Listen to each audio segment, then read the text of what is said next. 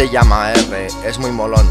Yo no soy Merlin, pero de estadística sé un montón. Lo tienes que descargar, seas Linuxero, del Windows o del Mac. Tienes dos, R comando que te irá filtrando y R Studio que te ayuda con el preludio. Instalas y empiezas a teclear códigos y códigos sin parar. Con ellos podrás armar estudios estadísticos sin parar. Hola youtubers, ¿qué tal? ¿Cómo estáis?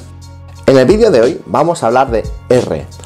R es un software de estadístico que se utiliza especialmente para analizar grandes cantidades de datos y para hacer después análisis estadístico.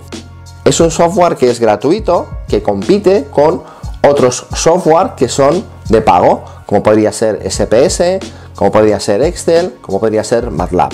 R se utiliza especialmente en universidades y lo utilizan investigadores, pero se utiliza en diversos niveles. R sirve tanto para personas que hacen eh, estadística en medicina, en psicología, en informática, en biblioteconomía, en infinidad de eh, carreras que necesiten utilizar estadística, este software es ideal. Primero porque es gratuito y segundo porque hay una gran cantidad de información y una gran comunidad detrás de este software que hace que sea muy robusto. Como complemento a los vídeos de estadística que ya tenéis en el canal que están hechos en Excel, os voy a hacer una serie de tutoriales donde vais a aprender a utilizar R. Y por tanto, en este primer tutorial vais a ver cómo se instala R y en R tenéis dos versiones. Tenemos la versión R Command y la versión R Studio. R Command es una versión un poco limitada donde uno funciona con la línea de comandos y R Studio es un entorno de trabajo donde podéis trabajar más cómodamente viendo más cosas. Con R también se pueden hacer unos mini programas y por tanto veréis que si hacéis búsquedas en Google veréis que también podéis programar en R. Pero advierto, son programas pequeñitos que le llamaremos scripts. Y por tanto es un software muy versátil que ayuda mucho tanto para el análisis de datos como para los resultados estadísticos. En el vídeo de hoy os explico cómo se instala, es decir, cómo se instala la versión RCommand, es decir, la versión de línea de comandos, y la versión de RStudio. En siguientes vídeos veremos otras cosas como la personalización de RStudio o cómo podemos empezar ya a trabajar con datos y con variables. Para que podáis instalaros R, eh, vamos a, trabajar en dos opciones. La primera, bajaros el software natural en sí, que lo tenéis en esta página en r-project.org y tenéis una opción aquí que indica CRAN. CRAN es eh, un acrónimo de Comprehensive Earth Archive Network, donde os dice los sitios de descarga para que os podáis descargar eh, la opción de, de R tranquilamente. Yo como estoy en, Barcelona, por ejemplo, pues me voy a ir aquí directamente y una vez aquí podéis decidir qué opción os interesa, si es Linux, si es Mac o si es Windows. En mi caso, eh, yo me he decantado por Windows porque es lo que yo utilizo, pero eh, para Mac y para Linux las instalaciones son parecidas.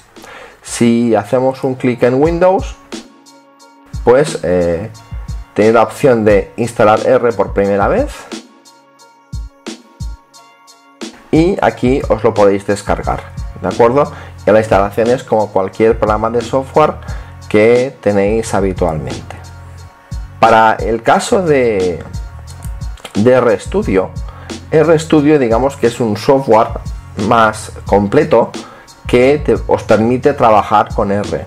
Entonces ¿Qué sucede? Que para trabajar con R solo es un poco complejo. RStudio es un conjunto de herramientas que nos permite trabajar a la vez de una forma mucho más clara.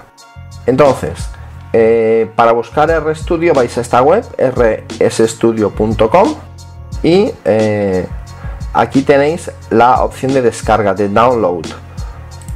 Si vamos aquí, fijaros que, bueno, os podéis descargar la opción gratuita que os funcionará con todos los tutoriales que vamos a ir viendo y eh, aquí pues fijaros que os dirá cuál podéis hacer actualmente pues para Windows Vista hay esta opción la R RStudio 1.0 pero fijaros que también está para Mac y también está para Ubuntu o para Fedora.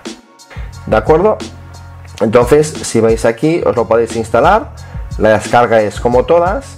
Y lo que vamos a ver ahora es un poco qué es cada cosa. Cuando os habéis instalado eh, tanto R como RStudio, tenéis lo siguiente. En R, fijaros que se abre y os aparece una consola para trabajar. En esta consola podéis hacer operaciones, pero se hace bastante engorroso. ¿De acuerdo? En el caso de RStudio, fijaros que es mucho más completa y aquí tenemos cuatro ventanas. Tenemos esta ventana de aquí, que es donde eh, escribiremos el código. Esta es la consola que habéis visto de R, es decir, es exactamente esta que hay aquí, es la misma. Aquí tenéis el entorno donde veremos las variables, que esto lo veremos en el siguiente vídeo. Y aquí tenéis una carpeta donde vosotros podéis elegir dónde guardar. Yo he escogido una carpeta que se llama trabajos en R y yo lo que puedo hacer aquí es decidir en esta opción dejarla como directorio de trabajo. Fijaros que aquí se crea la instrucción ¿De acuerdo? Y siempre que yo abra RStudio, nos vamos a ir aquí. En el siguiente vídeo vamos a ver cómo vosotros podéis hacer las primeras operaciones con R y también cómo podéis personalizar la apariencia de RStudio.